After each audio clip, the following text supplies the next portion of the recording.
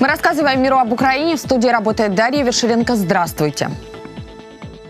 Пять раз российские оккупационные войска обстреляли позиции украинских военнослужащих с начала суток на Донбассе, при этом активно использовали запрещенное Минскими соглашениями оружие. В частности, по данным Министерства обороны, из минометов, в том числе тяжелых, боевики били по украинским укреплениям в районе Луганского и Пивденного.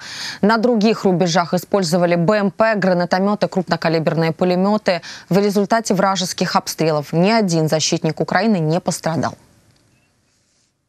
Тривалий обстріл зі 120-х та 82-х мінометів. Продолжительный обстрел из 120 82-миллиметровых минометов, гранатометов, крупнокалиберных пулеметов. Около 6 утра оккупанты начали вблизи Луганского. Огонь вели почти два с половиной часа. За это время по украинским позициям было выпущено около 70 мин.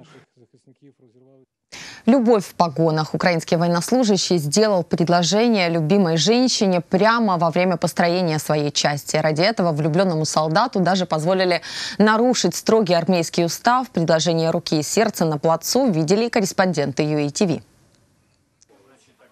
В воинской части сегодня не по-военному романтично. Солдаты Тернопольской отдельной артиллерийской бригады искренне волнуются за своего боевого товарища. Через пару минут Василий сделает предложение своей любимой. Две недели назад зустрілись. Две недели назад встретились, влюбился. Решить сделать такой поступок. Очень волнуюсь. Обеденное построение. Повара Ирину строго вызывает командир. Солдат Данилова. Ко мне. Женщина идет не смело. Я хочу, чтобы ты стала моей женой. Ты согласна выйти за меня? Да. Первые поздравления от командира и боевых товарищей. Артиллеристы Артиллеристы и пехота 44-й бригады всегда были первыми и в бою, и в другом. Это первый случай признания военнослужащих в кругу своих боевых друзей.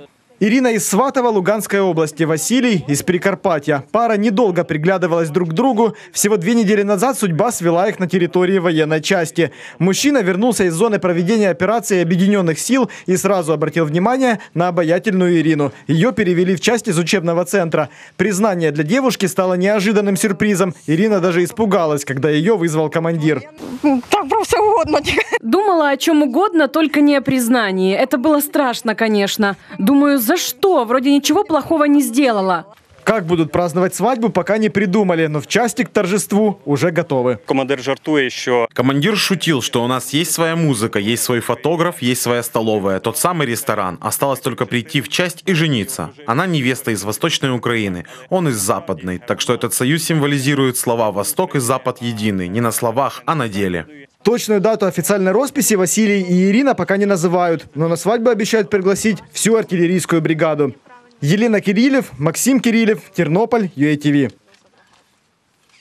Непрозрачность финансирования избирательных кампаний и незаконная агитация. Наблюдатели общественной сети «Опора» зафиксировали больше 100 фактов нарушений законодательства за месяц с начала избирательного процесса в Украине. Об этом представители организации заявили во время брифинга.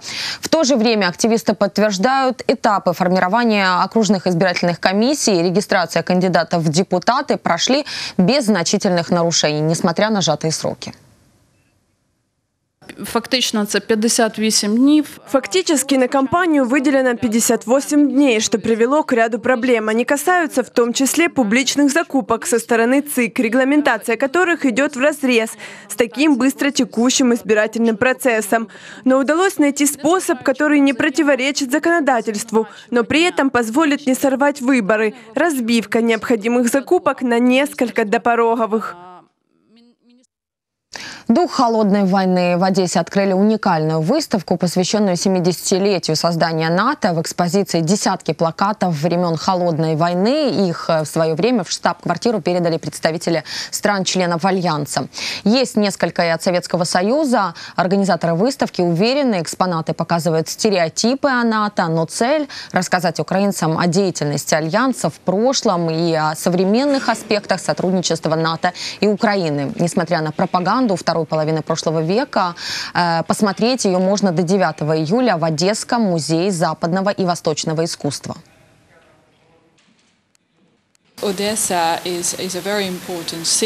Одесса очень важный город, и Одесский регион важен благодаря Черному морю и портам. Мы прекрасно понимаем, что все еще есть масса негативных стереотипов о НАТО, которые остались со времен Холодной войны. Эта выставка – отличный проект, чтобы ознакомить горожан с тем, что есть НАТО, и для того, чтобы разрушить старые стереотипы, которые существуют и сейчас о нашей организации.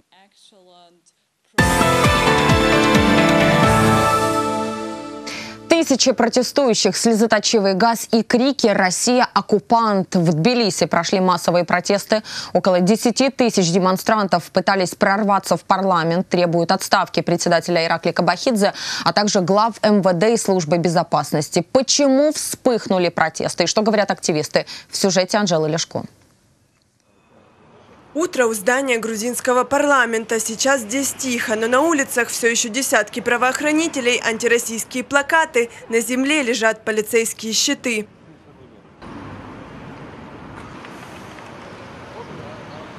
А еще накануне вечером на этой площади митинговали тысячи человек с грузинскими флагами и плакатами «Остановить Россию». Требовали отставки председателя парламента Ираклия Кабахидзе, а также глав МВД и службы безопасности.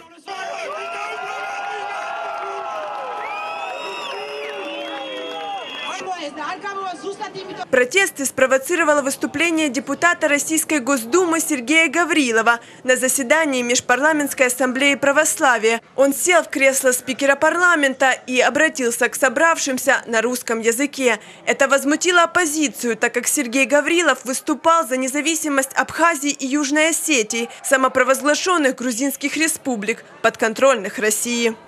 Повод тот, что человек, который не признает территориальную целостность Грузии.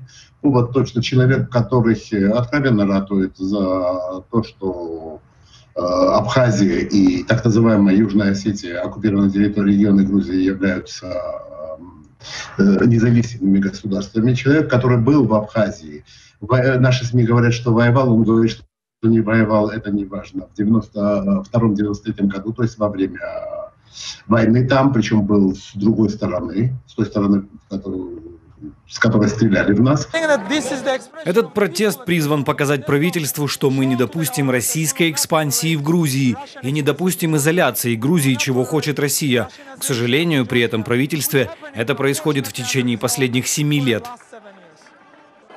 Протесты переросли в столкновение с полицией. Правоохранители разгоняли протестующих слезоточивым газом и резиновыми пулями. Ранены десятки человек. Это и полицейские, и митингующие. Люди планируют продолжать протесты, пока правительство не выполнит требования.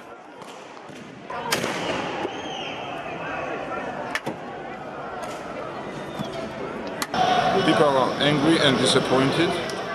Люди злые и разочарованы, ждали разговора с правительством, а вместо этого силовики начали стрелять и использовали слезоточивый газ. Мы просили правительство не впускать представителей России сюда. Это было самым большим унижением нации, и именно поэтому нас здесь так много.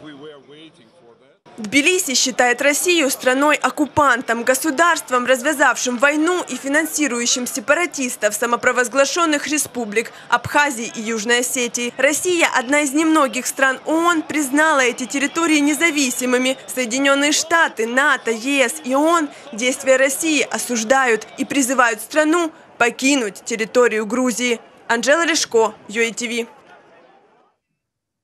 Экс-глава Министерства иностранных дел Великобритании Борис Джонсон и нынешний глава ведомства Джереми Хант – победители пятого тура голосования на пост главы британской консервативной партии. За Джонсона проголосовали 160 депутатов, из 313 Хант получил 75 голосов.